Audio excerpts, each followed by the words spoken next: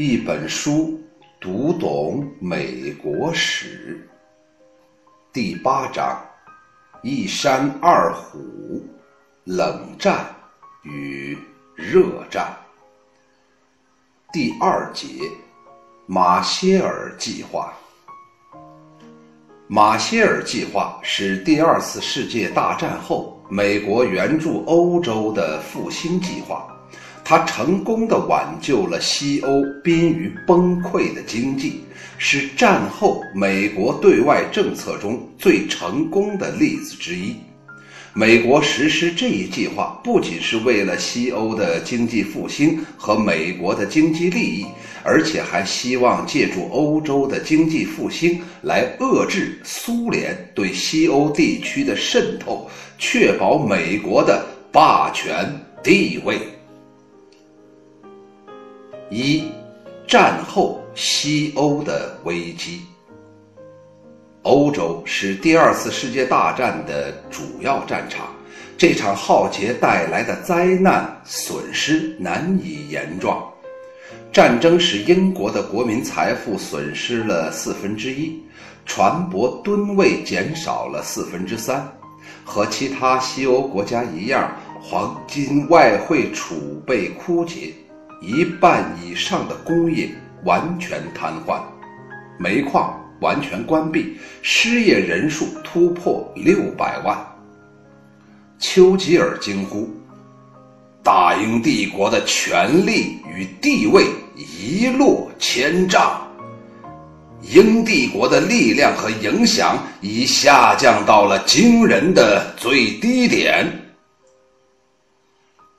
法国的状况更为严重，法国在希特勒的闪电战中。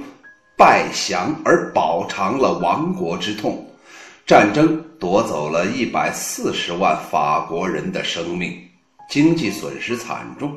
按一九四五年价格计算，其损失高达四万八千九百三十亿法郎，百万公顷以上的土地被破坏而无法耕种。一九四五年初。工业生产还不及一九三八年的一半，加之一九四六年底又碰上了百年罕见的酷寒，真是饥寒交迫，民不聊生。一九四六年，联邦德国地区的工业生产只及战前一九三八年的百分之二十三，几乎所有的大城市都成了一堆瓦砾。老百姓已经无法生活下去，其他西欧各国生产凋敝，濒临崩溃，原料、燃料和日常生活品奇缺，经济的衰败使得西欧民众对现政权的不满与反抗情绪与日俱增，政局动荡。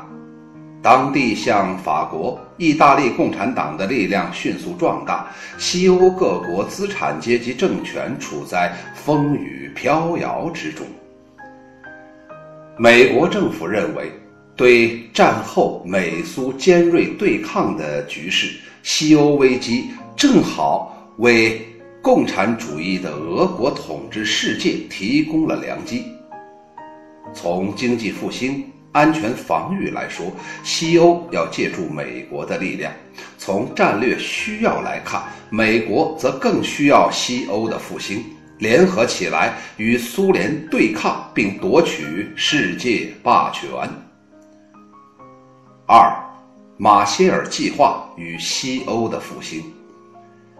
一九四七年初，美国前总参谋长马歇尔将军接替。贝尔纳斯出任美国国务卿。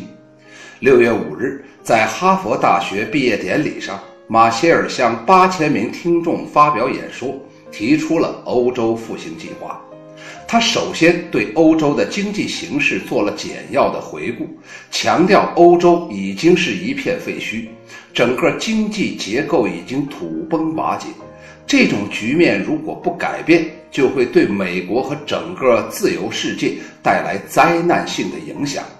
马歇尔说：“事实真相是，欧洲在今后三四年内需要从外国，主要从美国进口粮食和其他的必需产品，其需要量比他目前所能偿付的能力大得多，因为他必须获得大量的额外援助，不然就得面临性质非常严重的经济社会与政治的恶化。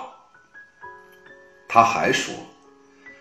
美国应该尽其所能帮助世界恢复正常的经济状态，这是合乎逻辑的。否则就不可能有稳定的政治和有保障的和平。我们的政策不是反对任任何国家或任何主义，而是反对激进、贫穷、冒险和混乱。他还强调，这个计划必须是联合性质的。马歇尔计划的一个特点在于，它是以自助为基础的，其目的是要使欧洲各国联合起来，与美国共同设计出一套符合他们的需要的解决办法。马歇尔这次演说为马歇尔计划打下了基本的基调。马歇尔计划在欧洲引起强烈的反响。被政治经济危机压得喘不上气的西欧各国政府立即做出了积极的反应，响应马歇尔计划。但在东欧，苏联认为马歇尔计划要求制定一个欧洲统一的经济计划，其害怕美国势力向东欧渗透，因此对该计划保持反对的态度。一九四七年六月十九日。英法苏三国外长在巴黎会晤讨论马歇尔建议时，苏联谴责马歇尔计划违背了国际合作的原则，使欧洲分裂为两个集团，指出这个计划是美帝国主义侵略扩张的工具。接着，苏联先后与东欧各国签订了一系列贸易协定。进一步巩固了苏联与东欧的经济联系，东欧各国因此退出了马歇尔计划。一九四七年七月十二日，英国、法国、意大利、奥地利等十六个西欧国家在巴黎开会，建立起欧洲经济合作委员会。九月二十四日，委员会向杜鲁门总统提出了一个西欧互助和自助的总的复兴计划，作为与之相对应的美国财政援助的方案。杜鲁门向国会提出了所谓“欧洲复兴计划”的咨文，一九四八年四月二日获国会批准，称一九四八年经济合作法。根据该法规定，西欧国家与美国签订了一系列双边与多边协定，援助总额达一百三十多亿美元，由美国利用财政公开公支开支来购买食品、燃料及其设备等物资援助西欧各国，其中西德、英国、法国。意大利等国受援最多。马歇尔计划的援助，使从冰岛到土耳其的十六个西欧国家的经济迅速复苏。在不到三年的时间内，他们的工农业产量分别比战前增加了百分之二十五和百分之四十，在一定程度上帮助西欧经济度过了困难时期。巩固了西欧的资本主义的统治秩序。到了一九五零年，西欧各国生产已经达到战前的水平，年增长率达百分之六，有的国家高达百分之十。英法意的工业生产，在一九四八年底已经超过了战前水平。德国西方占领区的工业生产。到一九五二年为战前的百分之一百一十五。该计划还推动了西欧国家的经济联合，为二十世纪五十年代末建立欧洲经济共同体而实现西欧经济一体化奠定了基础。